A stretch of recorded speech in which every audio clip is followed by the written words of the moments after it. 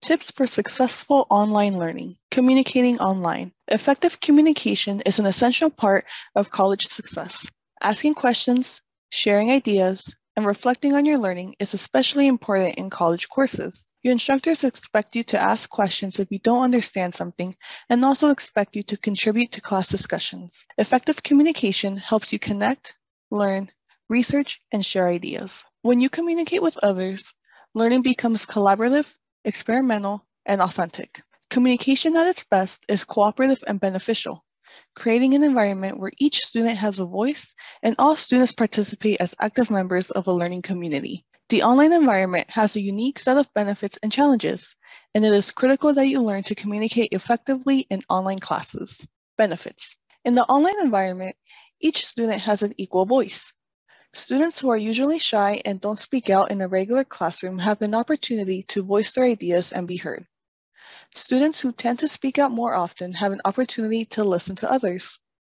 Everyone has the opportunity to reflect on their own and others' contributions to the discussion, and students can return to the discussion at any time to review something they found valuable. Most importantly, in classes where students don't physically see each other, a strong sense of community can develop through online communication.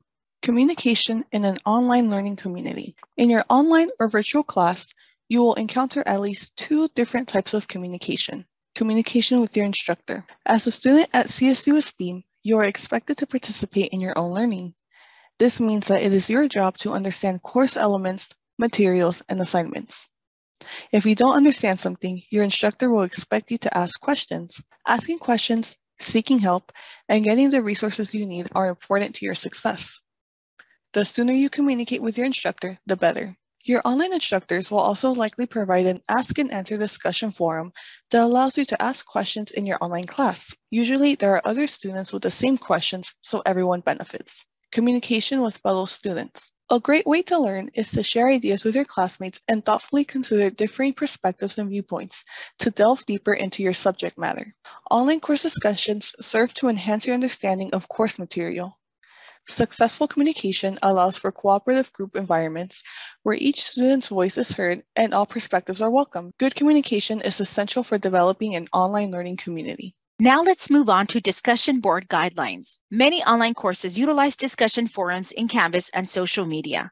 This allows students to share ideas and reflect on their learning. Many instructors use social media in their courses to build community and supplement learning. Increasingly, employers and institutions have expectations that prospective employees and applicants for graduate school have some type of online professional presence, as well as digital literacy and communication skills. Your first online college course can help you begin to develop your own online presence as a member of the CSUSB learning community. The following tips can help you communicate well online. Read through each one to enhance your development as a positive digital citizen. Be professional, clear, and respectful. Clear and effective writing translates to clear and effective communication. Consider the purpose of your communication and your audience. Use a respectful tone and adhere to the same rules you would follow in traditional classrooms. Use proper grammar, spelling, and formatting, and check all of your communication before clicking the send button. Avoid emotionality and all capital letter statements and keep communication meaningful and to the point. Remember that you are beginning to develop your professional online presence.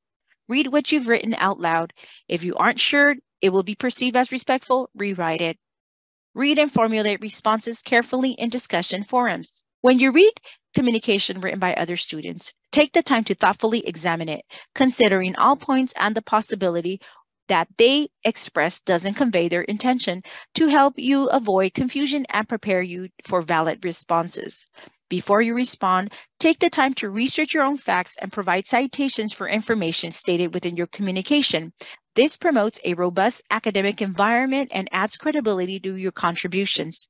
If given the option, consider recording an audio or video post. Our facial expressions and voice tone can add context to your response and help others see and or hear your intent. Metacognition, monitoring your learning. Metacognition is an awareness of the conditions conducive to your best learning, specifically your preferred medium of learning, whether it be visual, verbal, or auditory your specific learning strategies for enhancing your understanding and retention.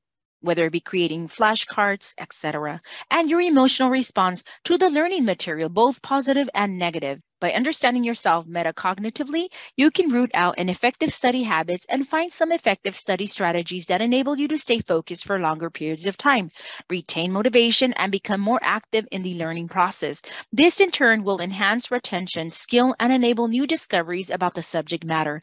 To do this effectively, one needs to understand their preferred medium, specific learning strategies connected to that medium, and their emotional response to the coursework and learning material. Let us examine these three.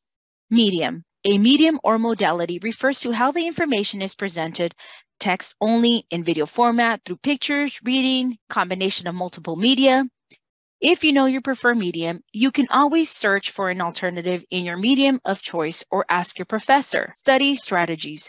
Study strategies refer to the specific learning and study practices that help you better remember and understand the material, such as flashcards, writing notes, self-quizzing, visualization, summarizing, etc. Different learning strategies are more closely associated with the different media, though not all strategies, depending on how they are used, are mutually exclusive. For example, mental visualization strategies, flashcards, and concept maps work best with visual learning. Other strategies, such as listing, could be either verbal or visual, depending if whether you verbalize information to retain it or to retain a mental image of that list's contents. Emotions.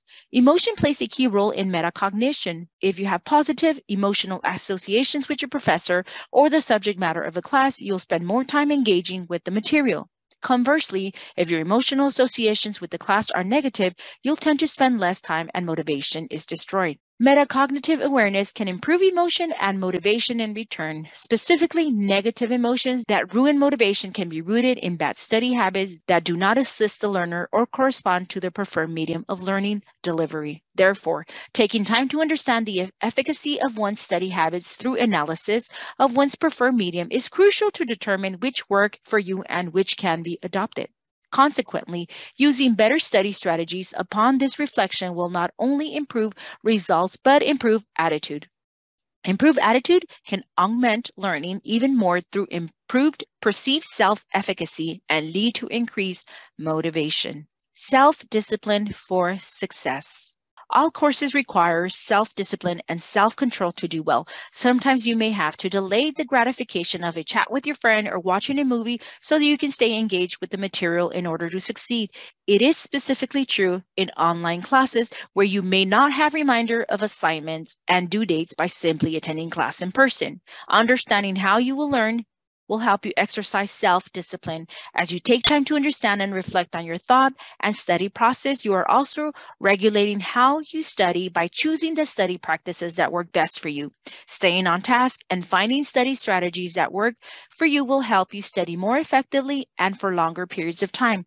Better strategies enable more motivation and focus. Therefore, it becomes easier to enact self discipline. Congratulations, you have completed the Learning at a Distance course. We thank you for taking this course and we hope that it will help you thrive in your online courses. For any technical support that you may need, you may contact the Technology Support Center via phone at 909 537 7677 by email at support at csusb.edu.